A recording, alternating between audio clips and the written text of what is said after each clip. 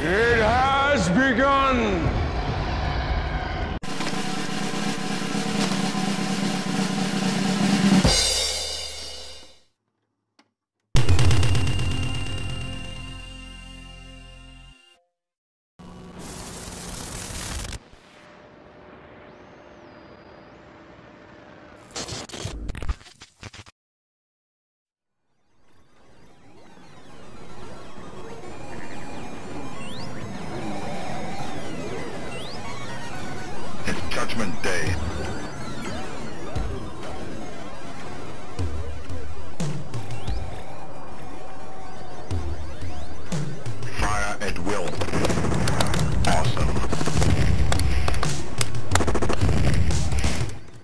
Cameron's 1991 blockbuster sequel, Terminator 2 Judgment Day, would spawn one of the most successful movie based games in history.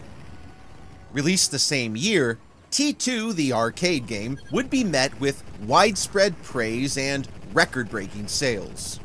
Coordinated by then T2 marketing wizard Lawrence Kasanoff, the phenomenal slick rail shooter would put him in high standing at the game's developer, Midway, and it was in June 1993 that Kasanoff, also chairman and CEO of Threshold Entertainment, met with executives of the gaming giant who were all too eager to flaunt their latest industry achievement a two player fighting game that didn't shy away from blood and gore.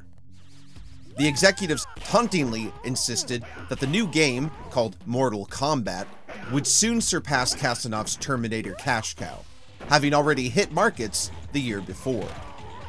According to Kasanoff, after a half hour of demoing the game, enamored by what he was witnessing, it was at this meeting that he surprised everyone with a sudden epiphany. He saw the game as having the potential to be an entire multimedia empire, starting with an epic film on the scale of Terminator 2, referring to his vision as Star Wars meets Enter the Dragon. Midway executives told Kasanoff that he was, quote, full of crap.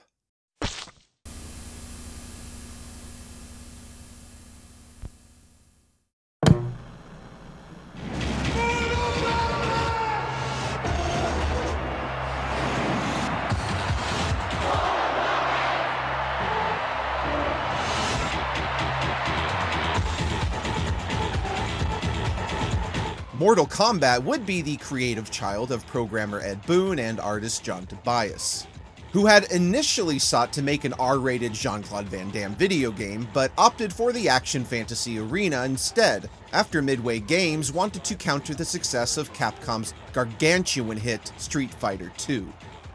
The first game of the series would arrive in October 1992 and go on to become a worldwide phenomenon, although not without its controversies, and inevitably led to a follow-up released just the next year, which further expanded the mythology and gameplay. However, while the video game world was reaching new heights of success, the idea of a decent video game based movie was already somewhat of a lost cause by the time the mid 1990s rolled around. How do you feel about cutting his head off? Where are we?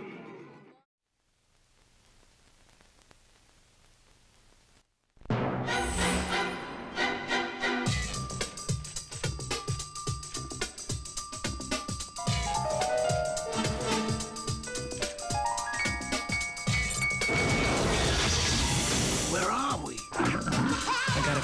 in Brooklyn no more. Super Mario Bros., cinema's very first live action video game adaptation, was a financial disaster at the spring box office of 1993, just one month before Kasanoff's fateful meeting. Despite featuring state of the art visual effects, surefire name recognition, and a top notch cast.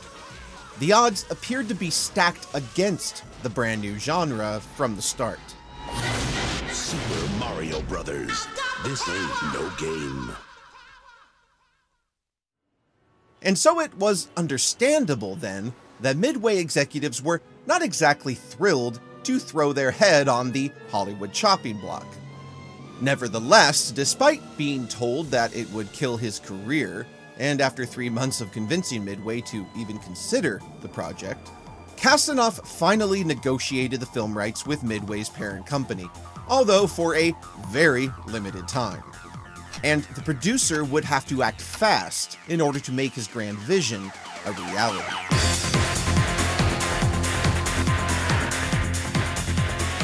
And so it was, somewhat miraculously, that with a young and inexperienced director at the helm, an ever changing script, a tight budget, and filming taking place on two different sides of the world, Kasanoff would help usher in one of the most beloved, or should I say, least hated, video game movies of all time.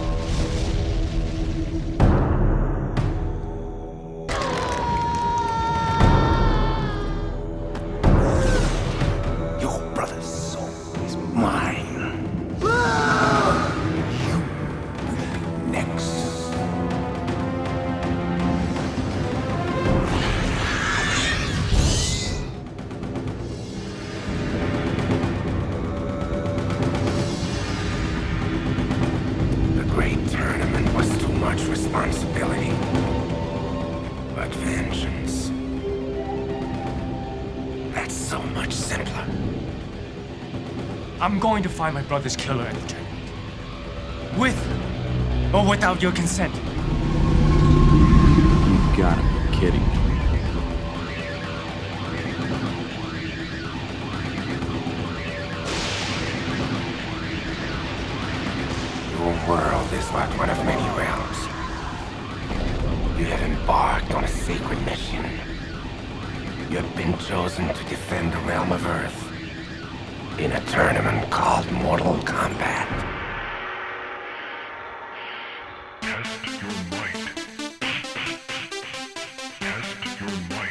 One of you will decide the outcome of the tournament.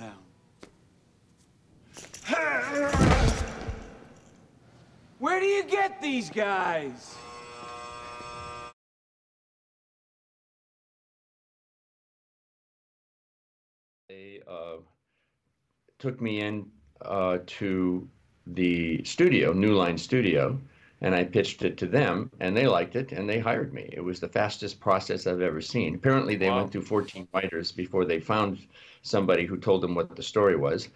As I was, ex- they explained later. It was like, yes, it's a great game, it's wonderful. And I said, I don't know much about the game, but I think this is a good story if we tell it this way. And and basically, that's how I launched. I. Screenwriter Kevin Droney would have the unique distinction of writing two of 1990's video game based films 1995's Mortal Kombat and 1999's Wing Commander. The latter being one of the few films I've ever walked out on.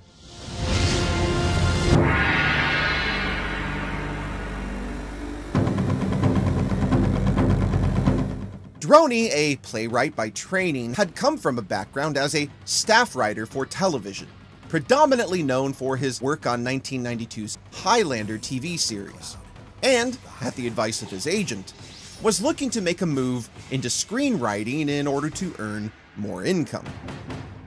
In 1993, Droney wrote a spec script to circulate his name through Hollywood, eventually getting a call from Larry Kasanoff at Threshold Entertainment, who wanted to hear what he would do with a Mortal Kombat movie. While Droney knew very little about the world of the game, he took to the concept because of his background in mythology and his love of karate and after a little local arcade research, he delivered his pitch to Kasanoff, who was thrilled with his vision. Kasanoff next sent the hopeful writer way up the ladder to New Line Cinema, who by this point had agreed to distribute the film. Fortunately, New Line was also on board with Droney's vision, and the Nova screenwriter was immediately put to work, the studio telling him that they needed it delivered fast.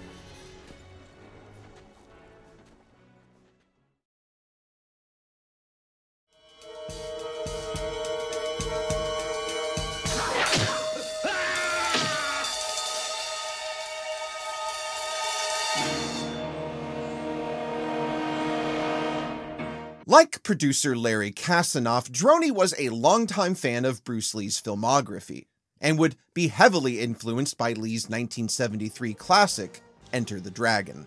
Primarily the concept of a villainous figure organizing a tournament on a remote island, the combatants arriving to the tournament in a boat, a final battle with an older man, and the whole movie really just being a series of hand-to-hand -hand fights. Threshold Entertainment's deal with New Line Cinema required that they deliver a PG-13 film in order to reach the massive teen audience that was the foundation of the video game series' success. But Droney had no issue adhering to this standard, in his mind aiming to write the film for a much younger audience, having an 11-year-old son at the time, and the writer purposefully steered clear of the more gruesome elements of the game.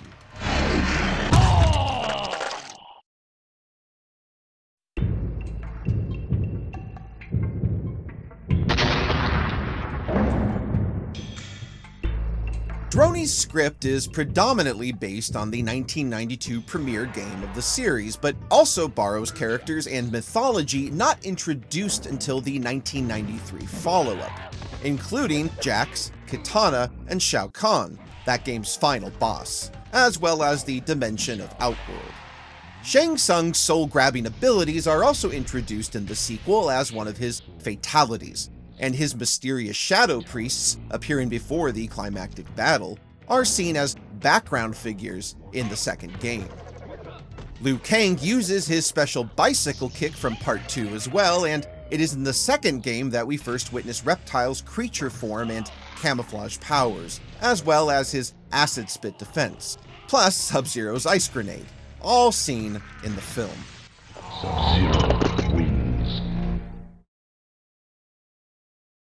New Line Cinema president Mike DeLuca, prior to production, would tell Kasanoff that he hated the script and hated the movie, and allegedly spent almost an hour listing his grievances to the producer, but ended by telling Kasanoff he could go ahead and make it anyway.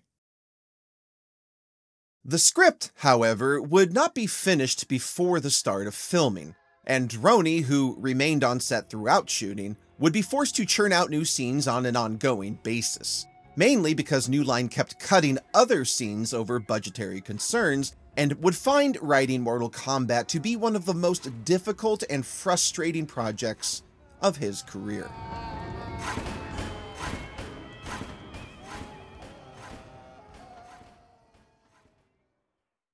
Proven names like Rob Cohen, Stephen Barron, and Halloween 4 director Dwight H. Little would all be considered to direct the film, but the studio was eager for a bold and primarily younger vision to enhance the script. And in 1994, a small independent British crime thriller caught their eye, directed by a then totally unknown 29 year old filmmaker named Paul W.S. Anderson. Action! I've always been interested, no matter what I've done, in making movies for young people. Face off for a moment, and It's, it's the market that I really like. It's the audience that I like. It's what I like to make movies that I grew up enjoying. Anderson was primarily known at the time for his work as a writer on the British TV dramedy El Cid, and had partnered with producer Jeremy Bolt to form Impact Pictures in 1992, hoping to secure financing for his yet to be determined directorial debut, eventually writing a script of his own, which would become Shopping. New Line was thrilled with Anderson's exciting debut. Although reviews were mixed, the talented newcomer pulled off a cinematic thriller on a shoestring budget, and the studio invited the director to pitch his vision. While Anderson was already a fan of the Mortal Kombat game series, he had no experience in visual effects, and quickly went to work on devouring all he could find on the subject in order to convince the producers that he was the right one for the job. Anderson explained to New Line that he saw the story unfolding through the lens of a classic Fantasy Quest film, on the level of Jason and the Argonauts. And the producers were especially impressed with his technical knowledge. Anderson was shortly after handed the opportunity of a lifetime, marking his first job on a major feature production.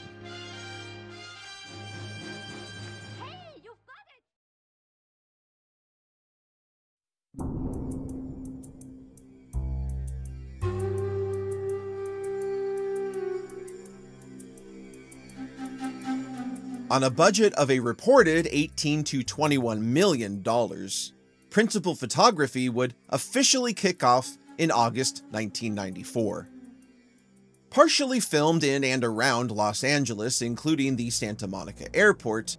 The production would later move to Thailand for extensive on location shooting.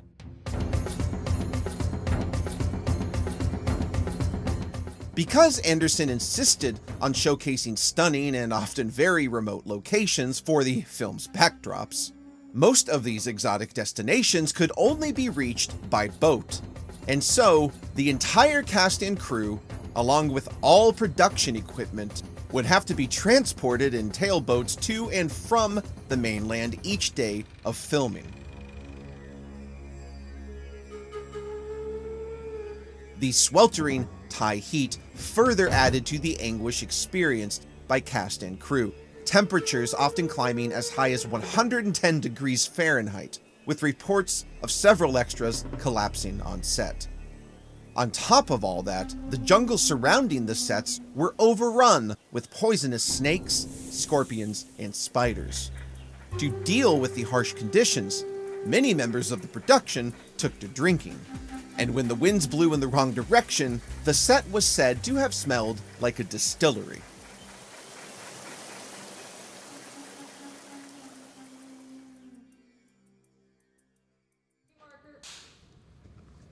Set. And action!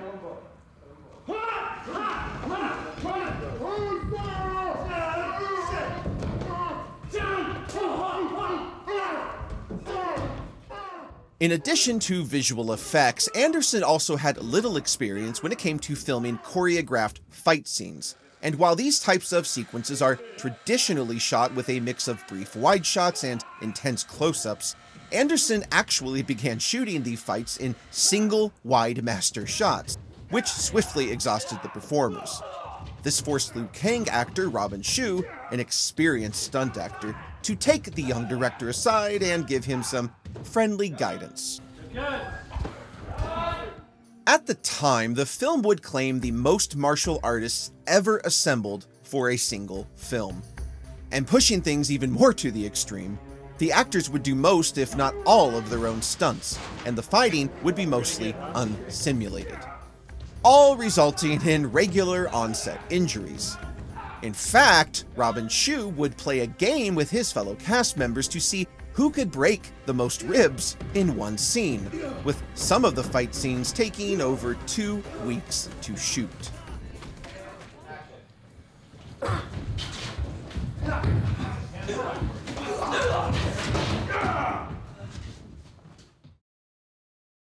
Video violence in the game Mortal Kombat makes parents see red. Video characters sometimes rip out spinal cords and chop off limbs to score points.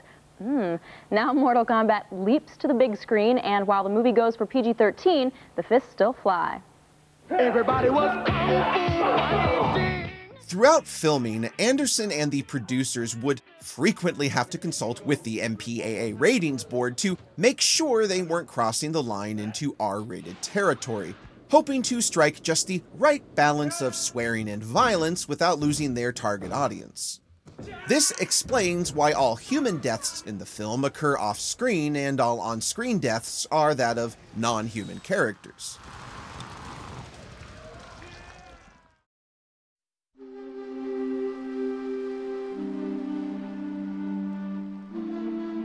Aiming for a spring 1995 release, filming would conclude after just over four months in December 1994. Throughout production, rumors swirled among industry insiders that Mortal Kombat was doomed to fail. And Anderson and producer Larry Kasanoff admittedly had no idea if they could really pull it off. Just before the film's world premiere, Anderson would grow so anxious over the fate of his career that he would abscond with his girlfriend to a remote area of Hawaii, or quote, the middle of absolute nowhere, fearful of a potentially future ending flop, a decision he would later come to regret.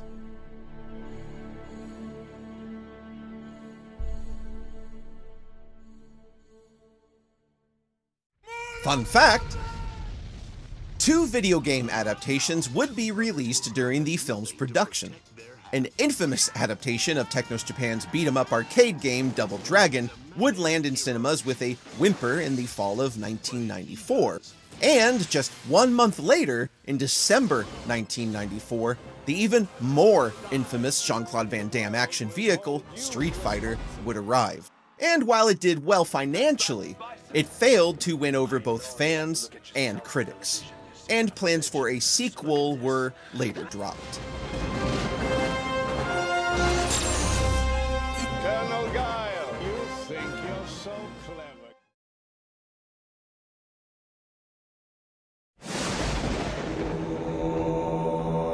An ancient tournament that will determine the fate of Earthrealm is orchestrated by the evil demon sorcerer Shang Tsung and his master, the mysterious immortal known as the Emperor, ruler of the Forsaken Outworld. In order to enter Earthrealm, however, they must first win 10 matches in the tournament known only as Mortal Kombat. They have won 9.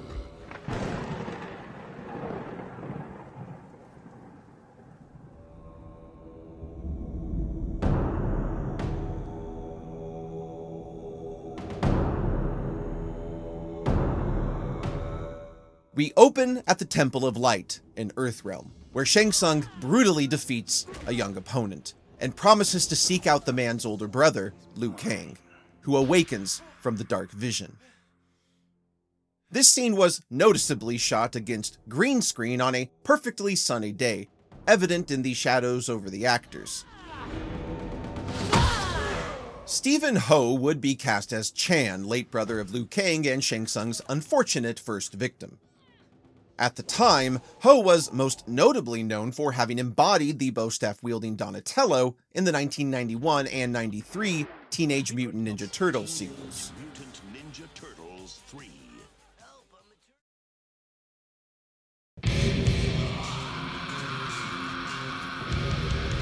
Let's go! At a Hong Kong dance club, which was actually a dressed up munitions factory, Special Forces agents Sonya and Jax hunt the red eyed villain, Kano, who killed Sonya's partner, unaware that he and his master, the dreaded Shang Tsung, have bigger plans.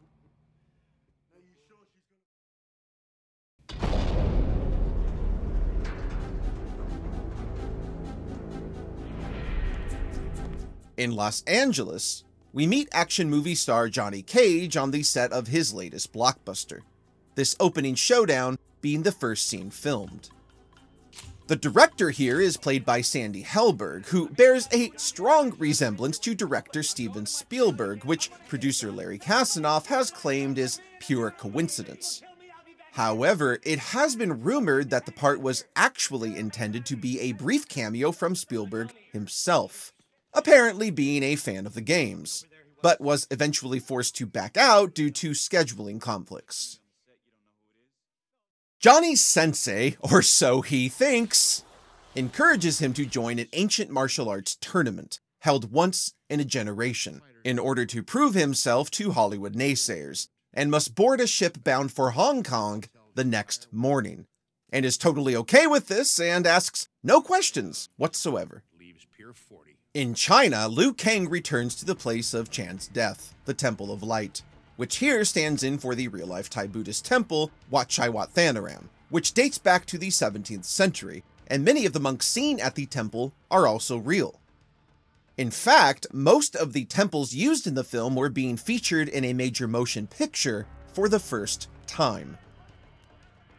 After a surprise visit from the god of lightning himself, Lord Raiden, Liu, a descendant of the warrior monk Kung Lao, chooses to represent the Order of Light in the mythological tournament, hoping to avenge his fallen brother.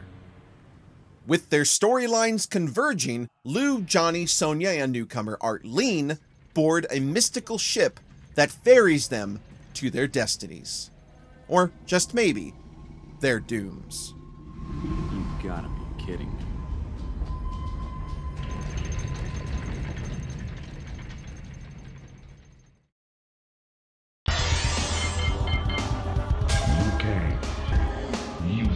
Will never win. Round one, fight.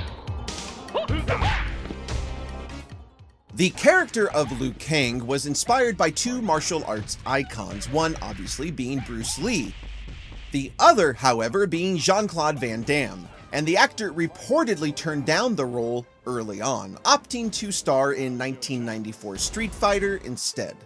Probably for the best. Bruce Lee's own son, Brandon Lee, had also been tapped for the role, but, of course, the young actor was fatally injured on the set of The Crow a year before production. Ernie Reyes Jr. would also be considered for the part, as well as Jason Scott Lee, who had then freshly starred in 1993's Dragon, the Bruce Lee story. Mortal Kombat is Robin Shou's first American film. The transition to Hollywood filmmaking techniques proved to be more challenging than he expected. I figured, like, okay, here's America, and it's gonna be easy.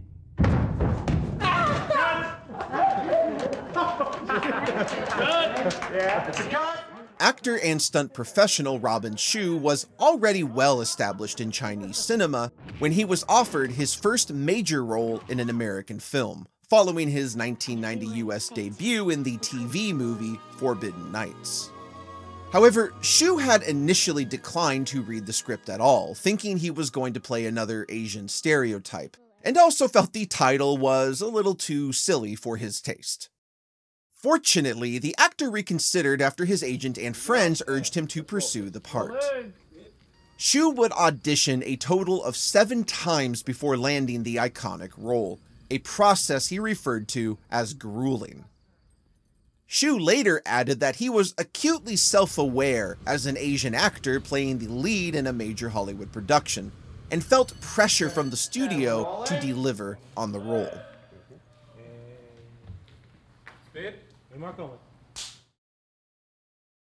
Martial arts is so important for our whole society.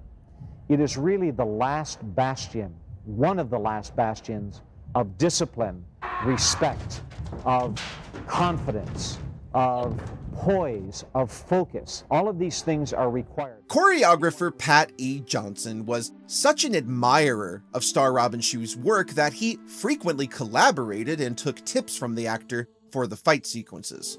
And as I'll cover later, Shou would end up choreographing several scenes himself during reshoots.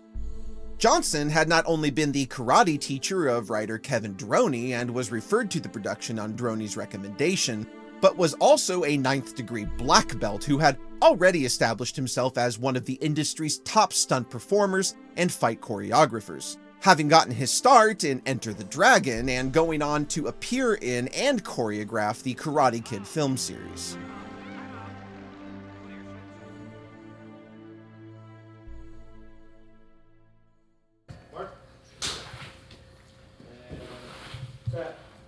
Action! Cut! God? Yeah, that was very good. Gary Daniels, Tom Cruise, and Johnny Depp were all considered for the role of Hollywood actor turned interdimensional hero Johnny Cage, before up and comer Linden Ashby won the role. Oh, thank God I didn't ask him to park the car.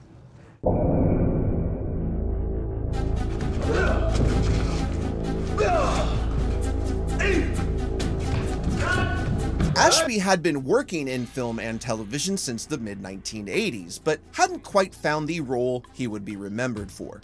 While the actor had been a Golden Glove boxer, he came with no martial arts experience, having to train intensively in karate, taekwondo, and kung fu in order to bring the character to ass kicking life. At the advice of co star Robin Shou, Ashby would use a stunt double as little as possible, which led to the actor being the most frequently injured cast member on set. Ashby's worst injury would come during the filming of Cage's battle with Scorpion. Despite wearing protective padding on his torso during the fight, Ashby would suffer a bruised kidney when Scorpion actor Chris Casamassa managed to accidentally kick the actor in the side between his padding. And Ashby later stated that it was not only excruciatingly painful, but that he urinated blood for more than a week after filming. At one point, Ashby was quoted as saying that he was in so much pain at all times that he was, quote, eating Advil like they were M&Ms. Ashby was also allegedly the cast member most fast and loose with his dialogue, often confusing his co-stars and taking scenes way off course. As a result, many of his takes would be cut from the film entirely.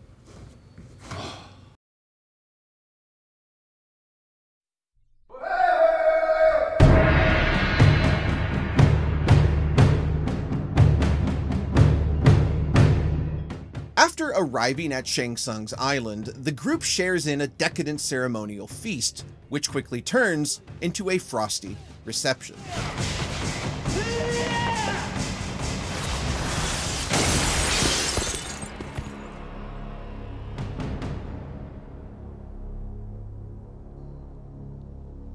Flawless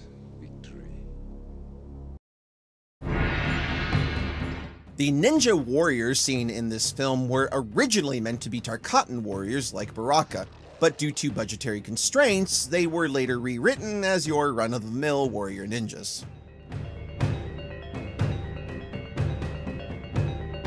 The tournament commences with Liu Kang claiming his first victory for Earthrealm, here seeing Liu execute a pronounced cartwheel, which is a reference to the character's finishing move in the games. Afterwards, his unlucky opponent loses his soul to Shang Tsung. Fatality. Up next, Sonya finally gets her crack at taking down Kano, showcasing her signature leg grab. In earlier versions of the script, Sonya spares Kano's life in defiance of Shang Tsung, but this was thought to be an unsatisfying conclusion to their conflict and was rewritten.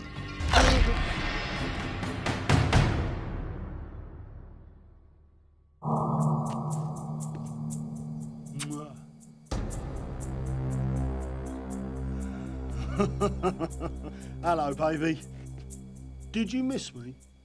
Producer Larry Kasanoff originally didn't want Kano to don his iconic metal faceplate and red eye, feeling it was too visually similar to Arnold Schwarzenegger's banged up Terminator in T2. But the children recruited to help choose character designs for the film passionately protested this decision, and it was quickly reversed. Kano, as he appeared in the games, was originally meant to be Japanese American, but creators Ed Boon and John Tobias were so taken with Trevor Goddard's performance that they retconned Kano's origins for future games to make him of Australian descent. However, while the late actor did put on an Australian accent for the role, he was actually a London native.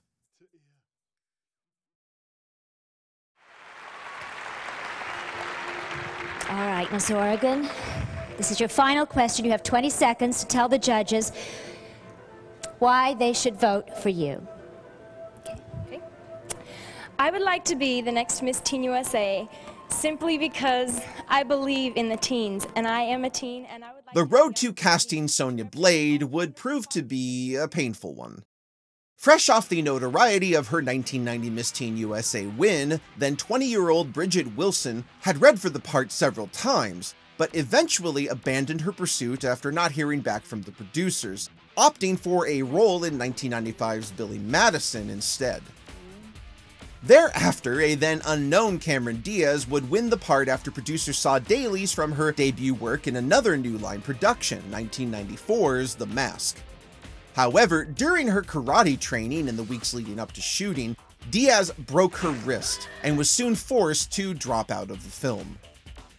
While actors such as Sharon Stone, Christina Applegate, and Dina Meyer were in the running, it has also come to light that another Miss Teen USA 1988's Illinois winner Kathleen McClellan briefly inherited the role, but also sadly suffered an injury during rehearsals and with no time to waste, Bridgette Wilson was again offered the opportunity, her filming on Billy Madison having already wrapped. Despite having to be flown out with less than a day's notice and forced to learn her choreography in between scenes, Wilson leapt at the opportunity.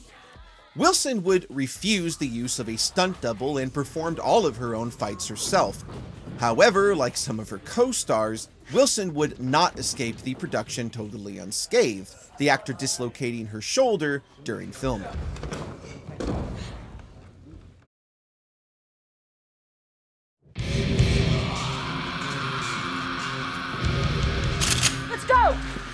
60 seconds to target. Jax, is the perimeter secured? Lockdown tight. It better be. I want Kano. Trust me, Sonya. I trust one person on this planet, Jax. You're talking to her. Sadly, the road to casting Jax, Sonya's partner in the Special Forces, would be more tragic. Cult movie actor Steve James was originally cast early on in the role, the actor having appeared in small parts in films such as Delta Force and the American Ninja series, and seemed a natural choice for the character. But by 1994, one year before filming was set to begin, James was diagnosed with pancreatic cancer and passed away at the age of 41 not long after. Following James's passing, actor Michael Jai White was initially courted for the role, but he chose to take on the 1995 TV biopic Tyson instead. As fate would have it, however, White would get a second chance at the character, playing Jax in 2010's Mortal Kombat Rebirth and 2011's Mortal Kombat Legacy. Following White's departure, actor Gregory McKinney inherited the role. Coming from a background of small television roles and a minor part in 1994's action comedy Beverly Hills Cop 3, at the time making Mortal Kombat arguably his biggest role. Although this is clearly a pre-metal armed version of the character and the role is very limited here. McKinney would not return for the film's 1997 sequel, however, Jax played there by athlete turned actor Lynn Red Williams.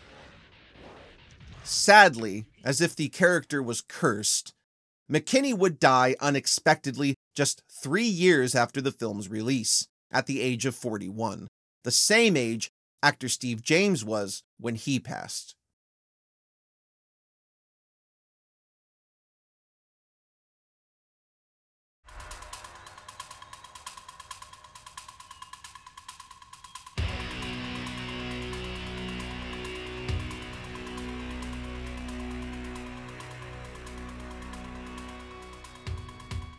Alone in the forest, Johnny is confronted by Scorpion, and after managing to kick him into another realm, narrowly defeats his opponent in spectacular Hollywood fashion.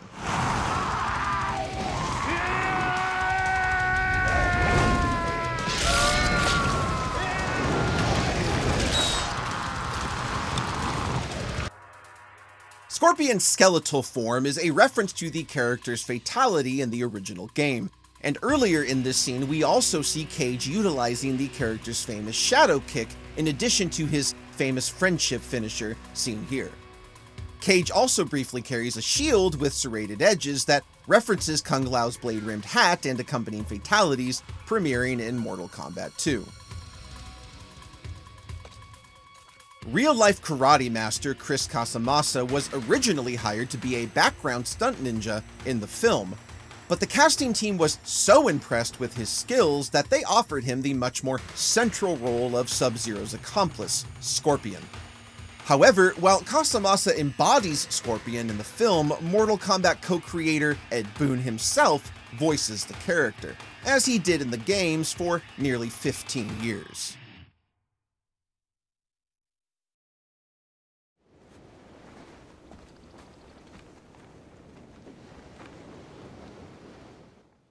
Liu Kang is forced to go head to head with the deadly Princess Katana, the unwillingly adopted daughter of the Emperor and heir to his throne. But the match runs short, ending in a draw, to Shang Tsung's disappointment, and Liu is next paired with the ominous Sub-Zero. And with a little tip from Katana, Liu manages to beat the Icy Warrior at his own game.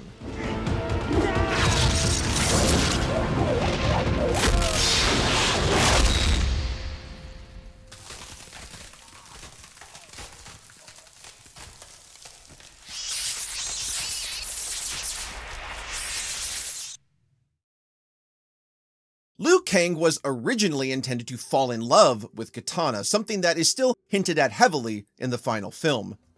But the producers felt that adding a romantic subplot would slow down the pace, and it was eventually cut altogether, to Robin Shou's dismay. Love it. And let's roll, please. Roll in. Bit up higher. Set. Action. A young Mariska Hargitay had auditioned for the role of Princess Katana, but lost out to rising star Talisa Soto, who had most notably appeared alongside her Mortal Kombat co-star Cary Tagawa as Bond girl Lupe Lamora in 1989's License to Kill.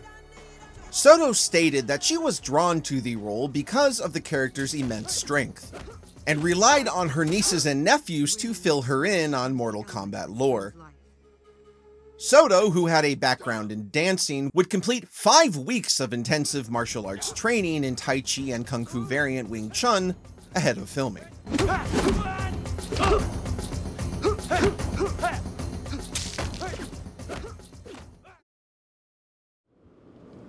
Set. And Francois.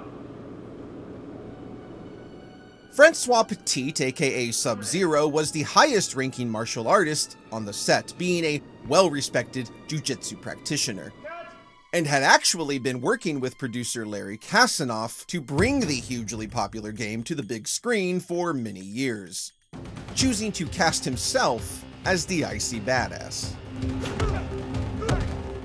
While Kevin Droney's script was more or less adherent to the world of the game, there were, on the other hand, some major changes, notably Scorpion and Sub-Zero being depicted as slaves of Shang Tsung, with their notorious rivalry only being mentioned in passing.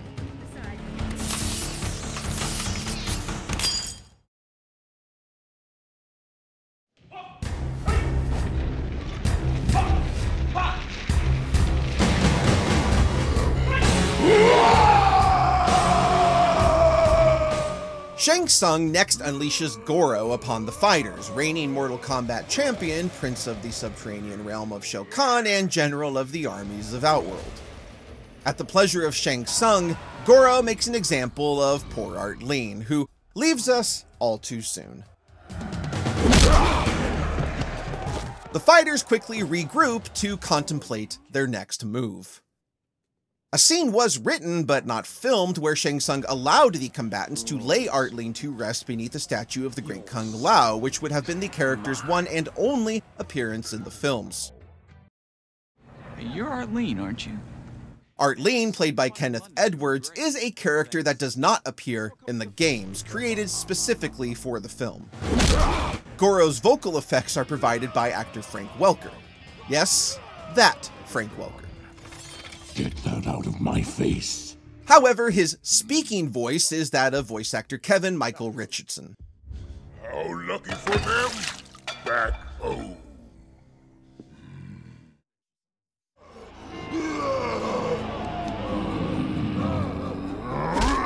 Shang Tsung next pits Johnny Cage against Goro, and the movie star swiftly delivers a knockout blow that brings the undefeated champion to his knees.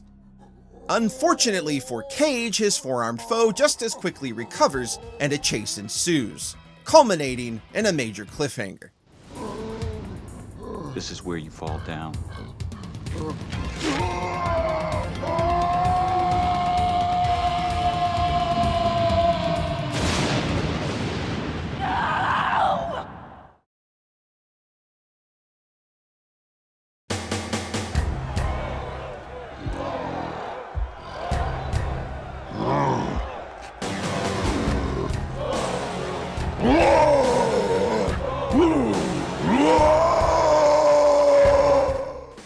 By Amalgamated Dynamics Oscar winning special effects team Tom Woodruff Jr. and Alec Gillis, Goro, a $1 million advanced animatronic puppet, would be filmed entirely in Los Angeles, requiring 13 to 16 operators in order to be brought to life. Woodruff himself would don the animatronic head and upper arms over the top half of his body, while several puppeteers operated its arms just off camera, and another group manipulated its facial expressions via radio signals for wider shots, making this the first film to utilize the technology. Additionally, slight CG enhancement would be added to the character's mouth for better lip sync. The creature, naturally, would frequently break down and stall filming, leading to significant and expensive delays and earning Goro a generally bad reputation on set. The animatronic was scheduled to be shipped to Thailand for filming, but director Paul Anderson decided it wouldn't be worth the effort. Nonetheless, the practical puppet was a major achievement in special effects and still holds up well today, and also certainly adds that Jason and the Argonauts flavor the producers were looking for. Yeah, that's Come on, Art. In and out.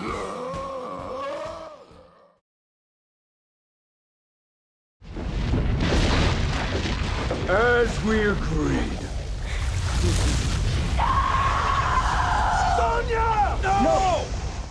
Shang Tsung kidnaps Sonya and takes her into Outworld towards the Emperor's castle, where he intends to challenge her.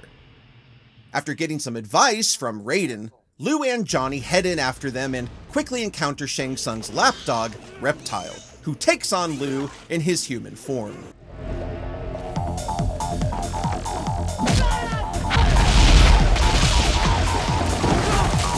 But the slimy fiend is no match for Liu's gravity-defying kicks, and he too is quickly squashed.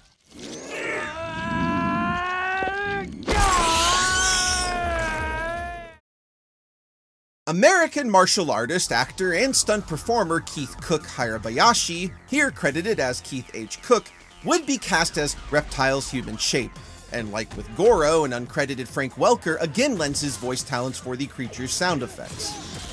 The human form of the character did not actually appear in the original script, and was added after principal photography had already completed, but a little more on that in a bit. Cook would later go on to replace actor Francois Petit as Sub-Zero in the film's 1997 sequel.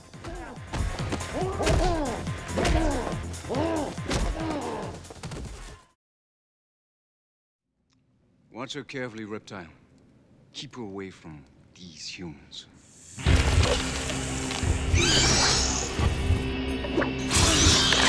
CGI was obviously still in its infancy in the mid 1990s, having exploded into popularity with the release of Steven Spielberg's Jurassic Park two years earlier. And visual effects supervisor Alison Savitch, who had served as visual effects production supervisor on T2, would oversee several effects companies in order to push the medium as far as they could with a minimal budget, aiming to show audiences something that they had never seen before. That being said, the film also makes good use of the morphing effect, a technique that was already old hat by 1994. As was the case for most films at that time, the visual effects look their best with inanimate, darkly lit objects, such as the Dragon's Wing ship that picks up our heroes at the start of the film, while Reptile's reptilian form was ambitious for the time to say the least, being a fully realized CGI character in a live-action film no less. It's now more admirable for its neat nostalgic charm than demonstrating any kind of industry redefining technical prowess. And it would be several more years before the groundbreaking technology would come into its own. At first, however, the creature was going to be a blend of CGI and an animatronic puppet, but this never came to fruition. The movie also boasts a lot of fun and inventive CGI establishing shots, also a cutting edge technique at the time, which help broaden the scope of the world and prevent the film from feeling overly set-bound.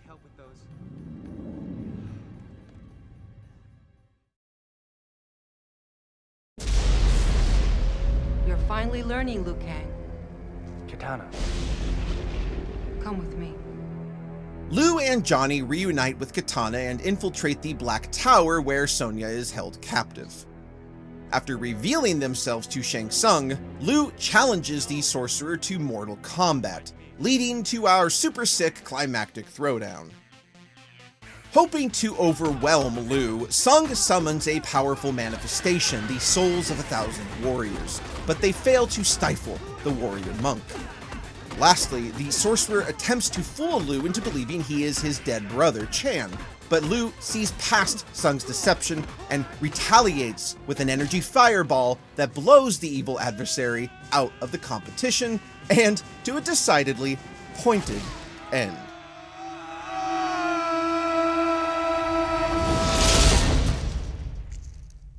The energy effect seen here is actually only meant to be a faint homage to one of the character's signature moves, a powerful energy ball. The producer's afraid to fully commit to the power due to Liu Kang being a human character, which really doesn't make any sense, but there you go. Following Tsung's demise, Liu finally gets his closure with Chan and the gang heads back to Earthrealm for a very short-lived celebration the Emperor of Outworld himself suddenly descending upon the temple, and the fighters forced to immediately ready themselves for yet another round of mortal combat.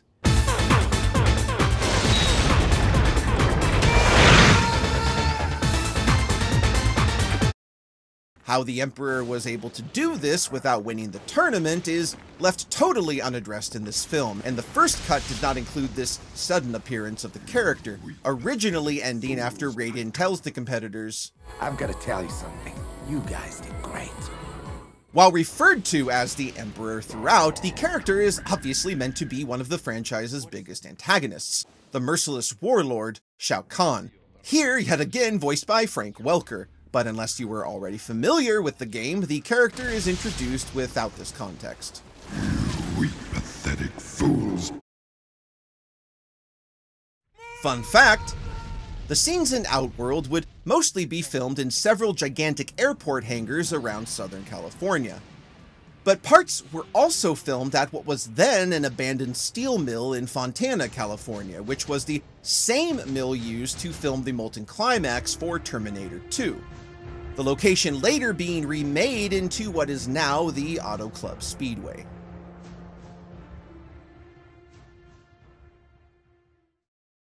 This character being different from other bad guys that I've done and having magical powers. Um, really, from my own martial arts kind of background, delved into this part that most martial artists don't think of themselves as magical beings. And so, coming from that perspective, made the character really interesting. More interesting than any other bad guy I've ever played, that's for sure. Celebrated actor and martial artist Cary Hiroyuki Tagawa would win the part of Shang Tsung, our despicable antagonist, making the film one of his six 1995 acting credits, but by far his most central role. While Tagawa was the first and only choice for the filmmakers, he was noticeably younger than what is portrayed in the 1992 game, explained by his ability to absorb the souls of others. And in order to avoid hours in the makeup chair, the producers agreed to allow the then 44 year old actor to play a much more youthful Shang Tsung. Tagawa is always at his best in villain mode, and clearly relishes in the character's wickedness in this film, and would play yet another mystical baddie the following year in 1996's The Phantom as the ancient pirate leader, the great Kabai Sengh.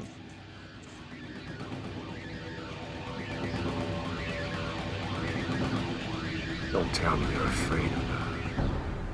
Simple beggar.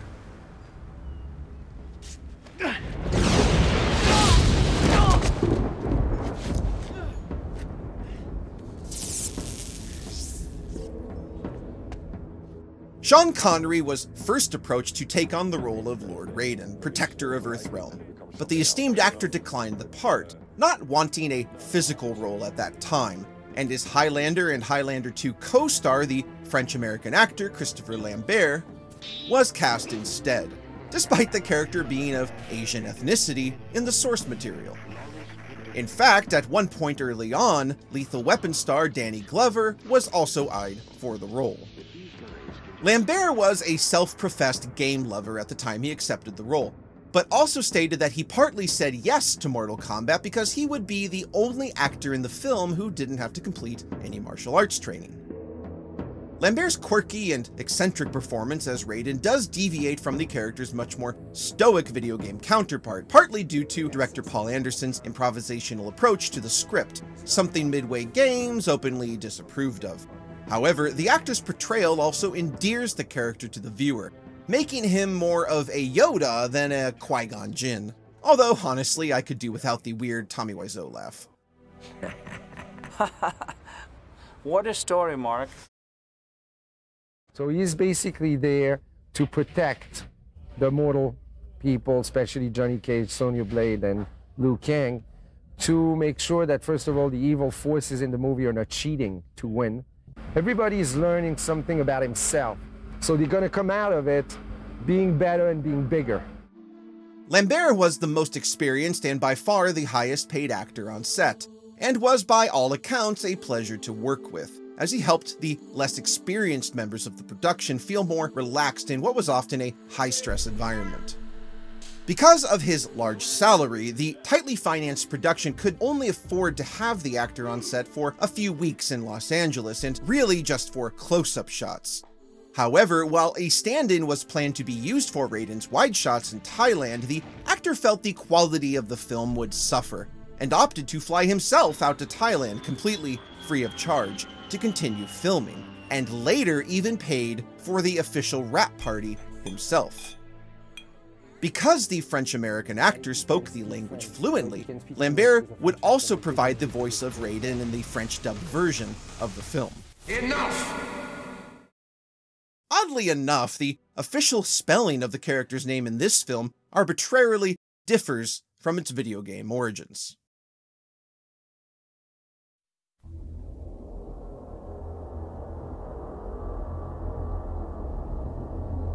Early test screenings for the film indicated that audiences weren't satisfied with a traditional orchestrated score, as unfinished cuts of the film utilized a standard temporary music track, giving composer George S. Clinton the opportunity he needed to take the sound of Mortal Kombat in a new direction.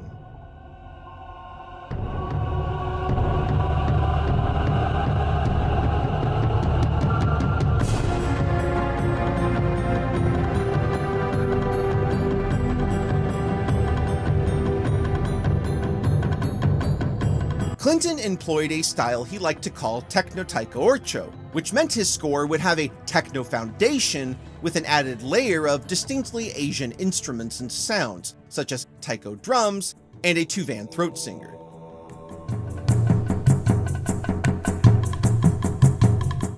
Clinton would also partner with celebrated electric guitarist Brian Patrick Carroll, aka Buckethead, to put the finishing touches on the score, and the celebrated artist would quickly become a major influence on Clinton's overall sound for the film.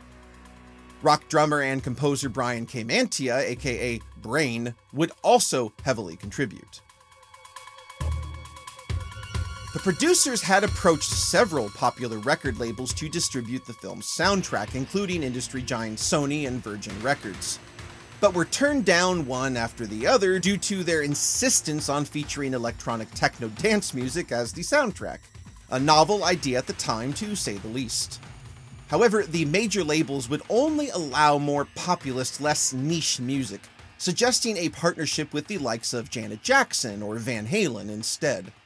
Not wanting to compromise their vision, after a little shopping around, the soundtrack at last found a home at the then much smaller label company, TVT Records.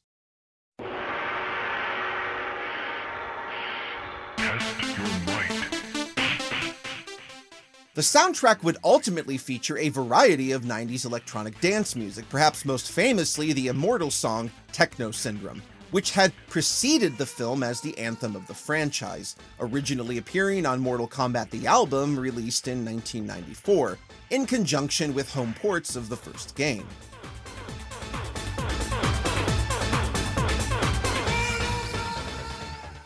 The official score album would be released by Rykodisc on October 11, 1995, in between the US and UK premieres. And the film's official soundtrack would be released on August 15th, days before its official world premiere.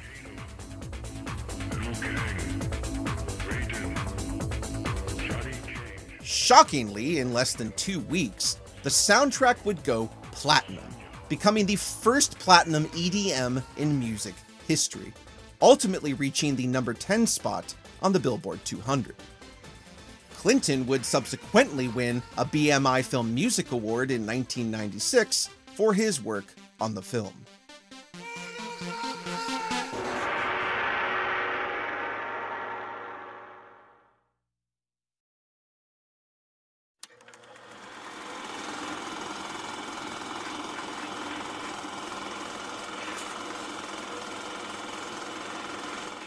Originally scheduled for a May 1995 release, the film would be pushed back to August following lackluster early test screenings, which revealed that audiences liked the overall creative vision but felt the film lacked enough substantial action.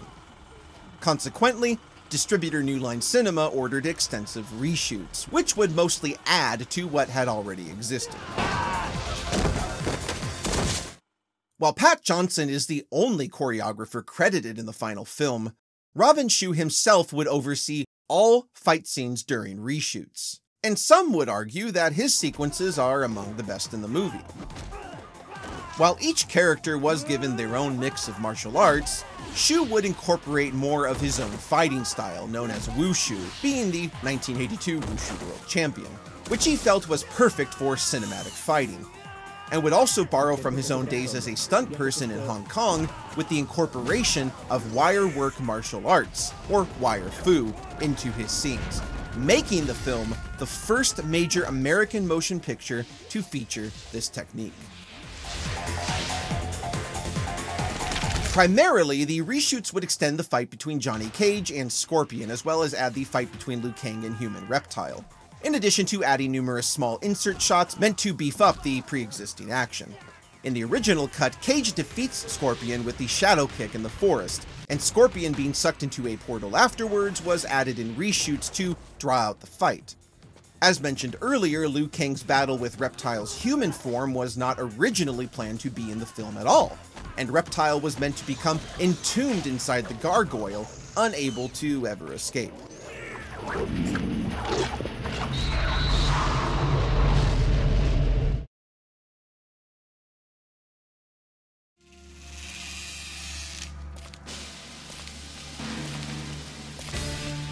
Welcome to the great tournament of Mortal Kombat.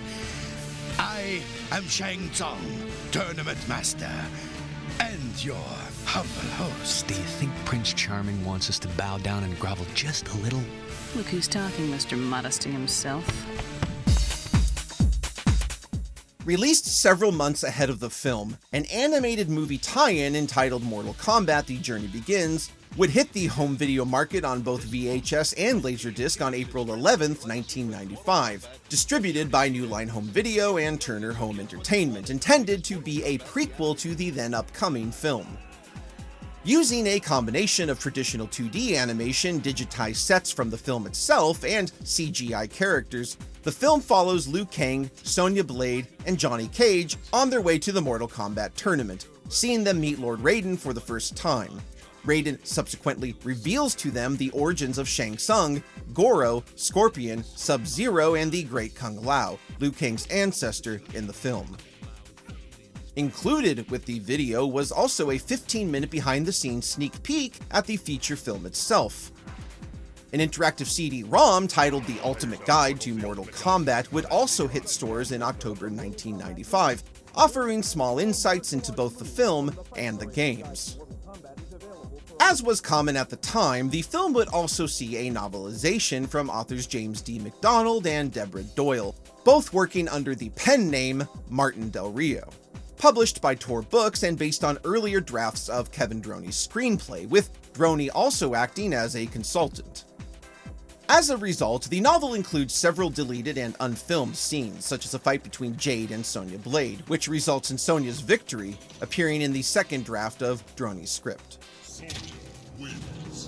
To promote the film even further, New Line would orchestrate a live tour in the form of a martial arts stage show entitled Mortal Kombat Live Tour, arriving at New York's Radio City Music Hall in November 1995, just three months after the film's premiere.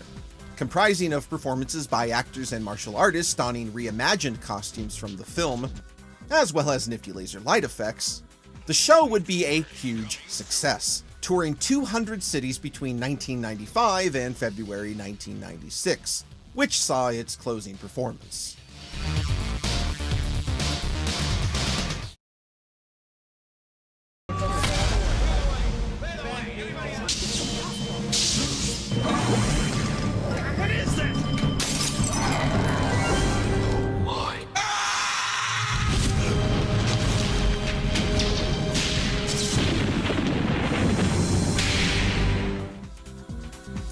Despite the onslaught of Mortal Kombat movie memorabilia, perhaps the biggest piece of marketing the film had going for it was the release of Midway's award-winning Mortal Kombat 3 in April 1995, which would be unveiled following one of the largest marketing campaigns for a fighting game in the industry's history, delivering the hype necessary for a big splash at the late summer box office.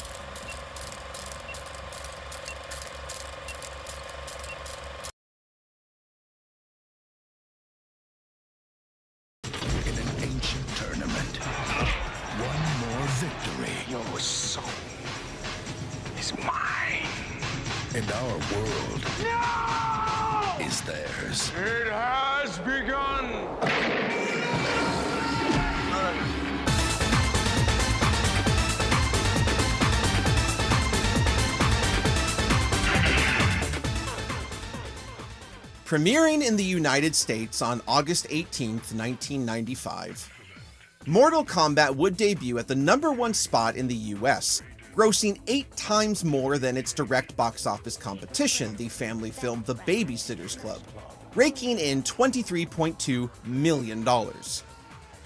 To the utter delight of New Line Cinema and Midway Games, it would spend three consecutive weeks as the number one film at the US box office and would go on to take in $73 million domestically, becoming the second highest grossing August release of all time at that time, just behind 1993's The Fugitive.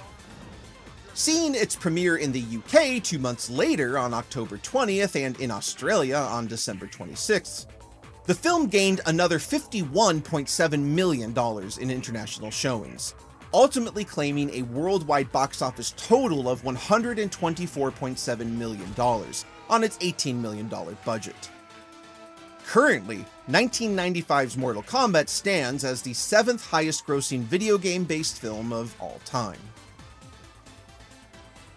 While the film was not screened for the press in advance, somewhat surprisingly, it garnered a mixed but lukewarm reception from critics of the time, who praised the overall production value, atmosphere, and imaginative settings, as well as the martial arts choreography, while the acting, script, and watered down nature of the PG 13 rating gained some criticism. Today, the film holds a 44% Rotten score on Rotten Tomatoes, with a minimal number of reviews. However, the film's success has always been measured by the fan reaction. Gamers of the era relieved to finally have gotten a video game movie that remotely resembled its source IP. And general audiences also took to the fantasy action elements of the story, the film earning an average cinema score of an A-.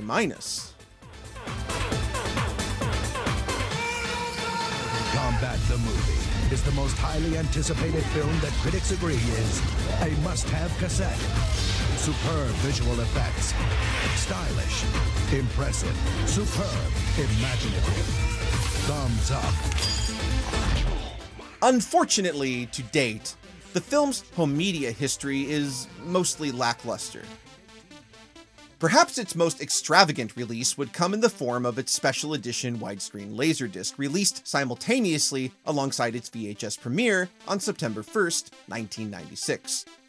While the VHS edition did include the Immortals Techno Syndrome as an added bonus, the Laserdisc release also offered an audio commentary featuring visual effects supervisor Alison Savitch and producer Lawrence Kasanoff, as well as the making of featurette Behind the Dragon. Oddly, neither the commentary or the featurette would be included with the DVD edition premiering in 2004, nor the April 2011 Blu-ray. The 2011 Blu-ray release does, however, randomly include the animated prequel short, Mortal Kombat The Journey Begins. On March 30th, 2021, a two-film Blu-ray steelbook was released from Warner Home Media, offering both the 1995 film and Annihilation, but both were presented in the same 1080p transfer as the previous release, and no added bonus features were offered.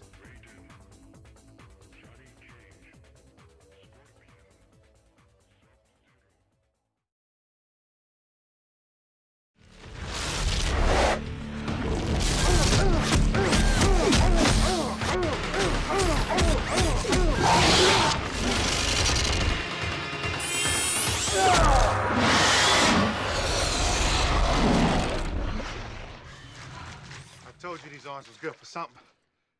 The film would, of course, infamously spawn the direct sequel Mortal Kombat Annihilation, directed by this film's cinematographer John R. Leonetti, and again produced by Larry Kasanoff. The follow-up would notoriously be plagued by studio interference and budgetary reductions, and go on to become a box office and critical failure in the fall of 1997, ultimately just making this film look even better. But more on that another time.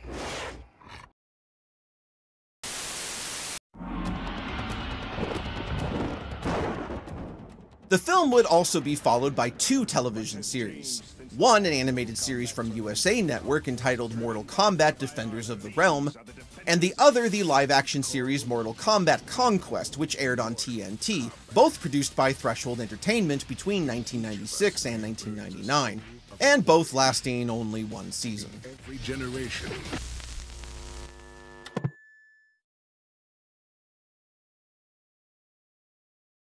When he's talking about the death of his brother in the story, you know, you believe this man. He's a good, good actor. And I think the combination of great acting, a nice, strong storyline, and fantastic martial arts, that's the recipe for a really strong film. Following the film's gigantic success, Director Paul W.S. Anderson met with New Line about his next project, the studio enamored by the young filmmaker's shockingly lucrative box office returns. While Anderson was offered the sequel, he turned down any future involvement with the franchise, choosing to set his sights instead on 1997's Event Horizon. After seeing Annihilation, however, Anderson later expressed regret about not returning and, quote, shepherding the franchise, and cited this experience as one of his motivations to stay on as director for the Resident Evil series.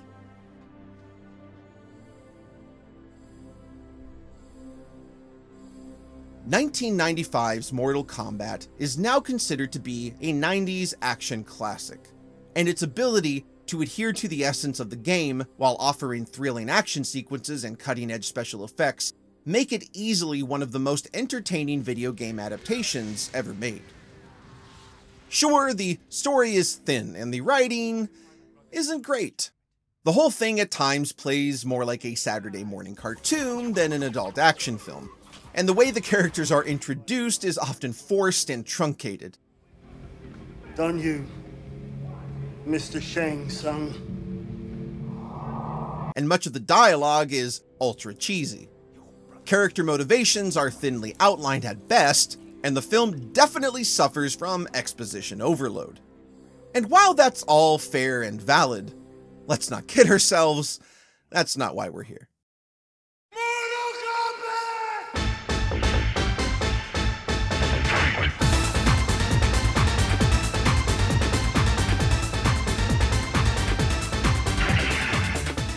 The film is perfectly calibrated for its target audience, namely young teenagers. Showcasing elaborate and colorfully lit sets, costumes straight from the video game, expert fight choreography that makes you feel the punches, paired with Paul Anderson and John Leonetti's kinetic cinematography, all wrapped up in one hell of a soundtrack. It's the best kind of mindless action movie, one that knows exactly what it is and really doesn't try to be much more than that. Players pick up the game for cool moves, badass character designs, and inventive fun environments. And the film too checks all those boxes. Simply put, its lack of pretense is its selling point. And while many of its elements have become relics of 90s cinema, today something one could easily dismiss and sneer at as a lesser art form, the film's popularity endures over a quarter of a century later. Not because it makes any kind of timeless statement or holds any historical significance, but purely because it still kicks a lot of ass.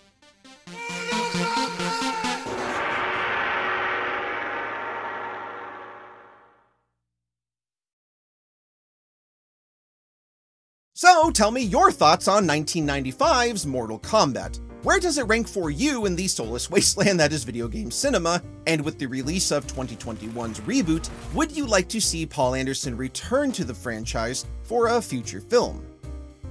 And as always, thank you so much for watching. If you like this video, go ahead and click like below and feel free to share. And don't forget to find me on Patreon at forward slash Late Layton Eversaul, where you'll gain early access to my channel's content and more. And of course, if you want to see more videos just like this one, go ahead and click subscribe.